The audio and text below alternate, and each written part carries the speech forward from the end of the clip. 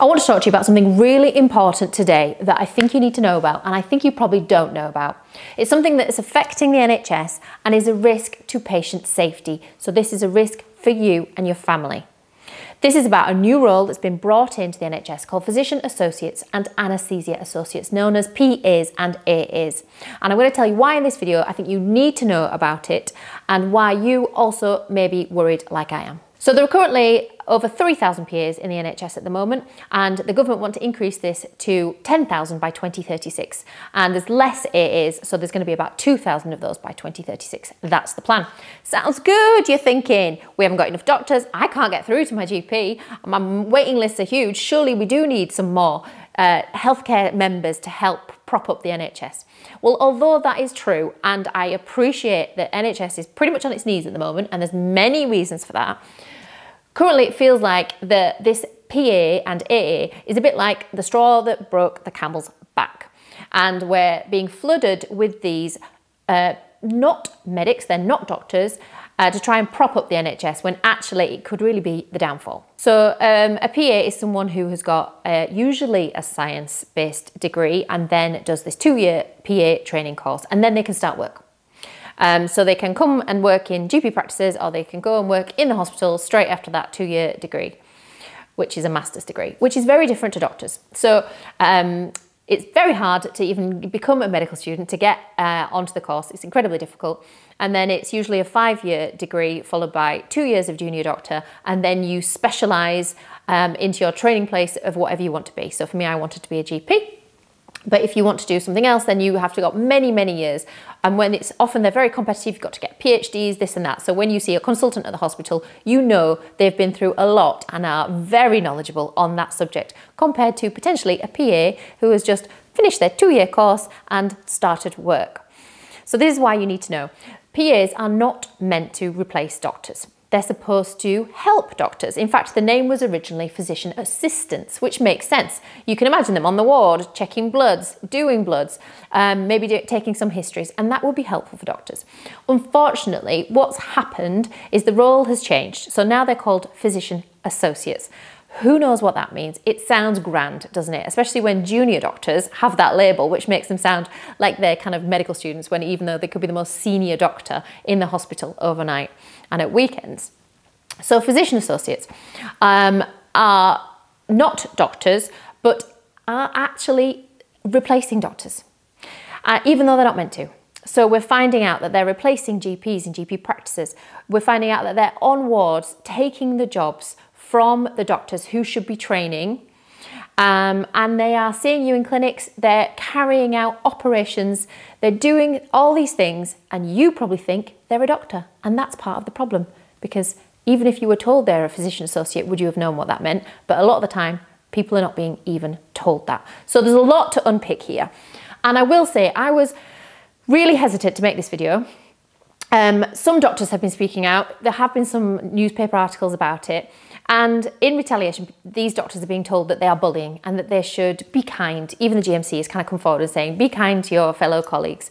Um, but actually, so this is not about any personal attack on PAs. I know there are loads of really brilliant PAs who are trying to do their best in the NHS, trying to do their best for patient safety and care.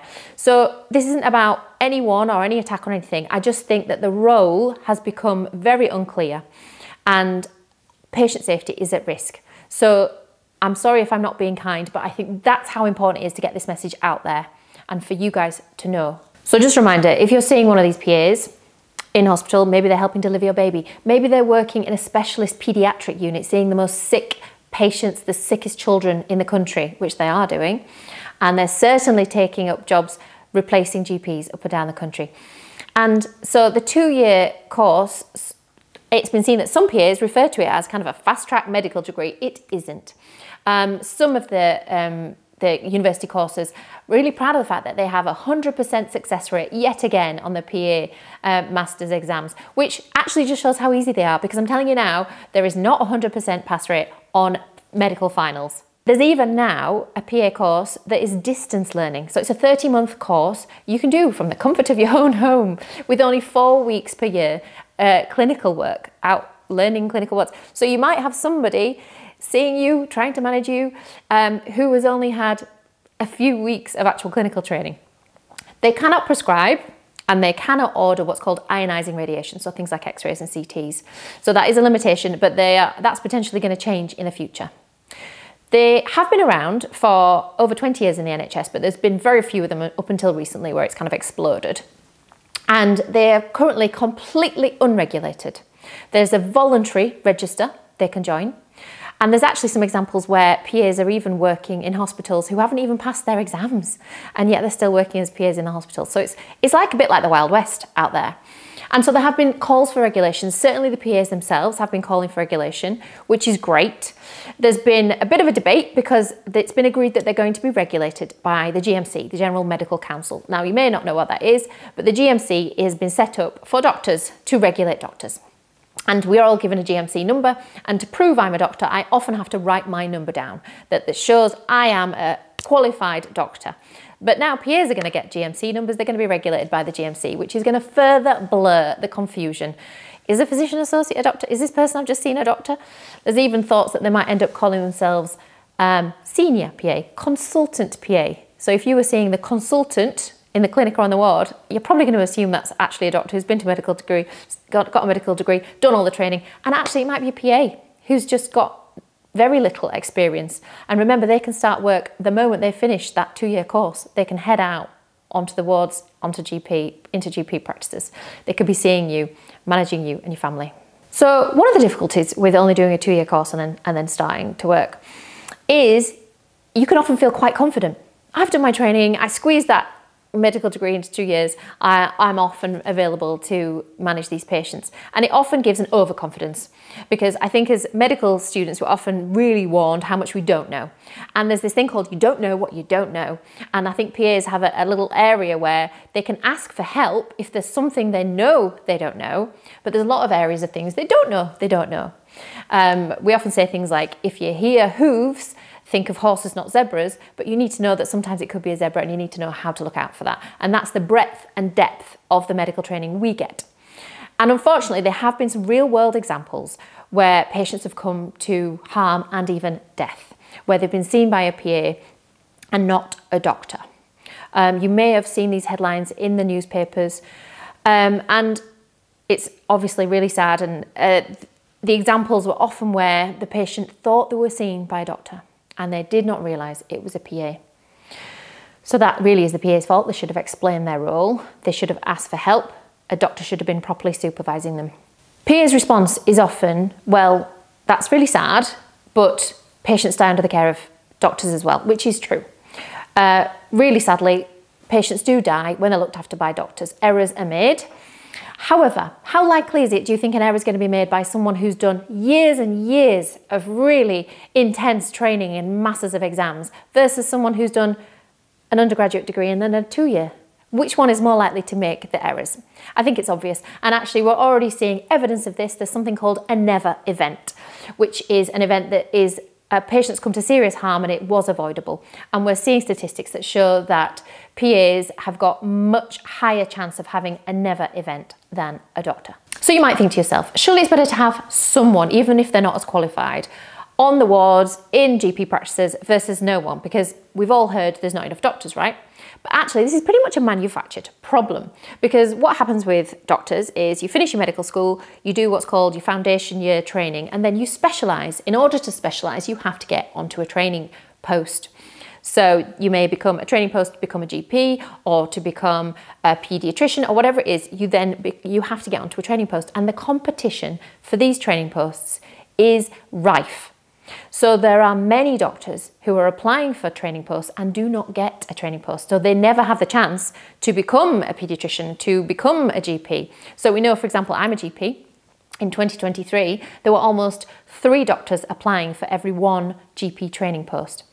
And this gets higher in, in, in every specialty there are too many people, too many doctors applying. So we know, for example, if you wanted to work in uh, reproductive and sexual health, I think it's 34 doctors are applying for every one training post. So actually what we need to do is instead of flooding uh, more non-doctors into these roles, we need to open up the training places so that more of the doctors can get onto the training places to become the specialists that we need. So really, ultimately, this is about putting money into the training places rather than employing the PAs. And whilst I'm talking about money, you may be aware that the junior doctors have been striking um, because they're currently on a lot less money than they were um, maybe 10 years ago. Um, so they want to match what they used to be on, which will be a 35% pay uplift, which sounds like a lot, but really they're on not very much money. And so I also mentioned that the PAs can't prescribe and order x-rays and they need to work under the supervision of a doctor. So they're often working under the supervision of a junior doctor and asking the junior doctor to do the prescriptions and order their x-rays and CT scans. And they are earning a lot more than the junior doctor. So you can imagine if you're a junior doctor working nights, earning hardly anything, you've got £100,000 worth of debt from your medical degree, you've been doing years and years of training, and then someone swans in who's only done two year course, earning a lot more money than you and asking you to do that, can you do my prescription, can you order my x-ray? You can understand why the junior doctors are feeling a little bit affronted. And unfortunately, they're leaving. So the NHS is losing doctors hand over fist. So if you go to like Waterloo Station, which is outside, which is close to one of the medical schools, you'll see adverts for like doctors come to Canada or come to New Zealand. I get doc- I get adverts all the time in my email. Um, uh, list for come and be a GP in Australia. Oh, there's a beach, isn't it lovely? So unfortunately, we are losing doctors. And I think although the PA issue is just one issue, there are many other problems with the NHS. It does feel like it's a bit of a slap in the face for doctors. And actually, it's not only affecting junior doctors, we know that it's affecting GPs. Many of my GP colleagues, you may be really surprised to hear this, cannot get work. There are loads of GPs out of work. Now, surely that makes no sense because, you know, you've been ringing up at eight o'clock every morning trying to get an appointment with your GP. Why are there not more GP appointments if there's all these GPs out of work? Well, the government has got a scheme known as the ARRS scheme, where practices are given a pot of money to employ non doctors and non nurses. So they can employ a PA if they want, but they can't use that money to get a practice nurse or a GP. So it's kind of and, and practices aren't being given much money, they're also struggling financially. So it's kind of understandable. They're looking to see where they can save money. And if they're getting money for a PA versus having to pay out for a GP, then that's what they're doing. So GPs up and down the country are really struggling to find work. Um, they're having to take a lot less uh, salary, having to reduce their salary. Um, never thought that if you would be a doctor, you'd be out of work, but that is what's happening. Okay, so I may have convinced you by now that this is something a little bit to be worried about. They are going to have GMC regulation. It's not great, it's under the GMC, but at least they're going to have regulation. They may soon be getting prescribing rights and um, ionising radiation rights. We'll see about that.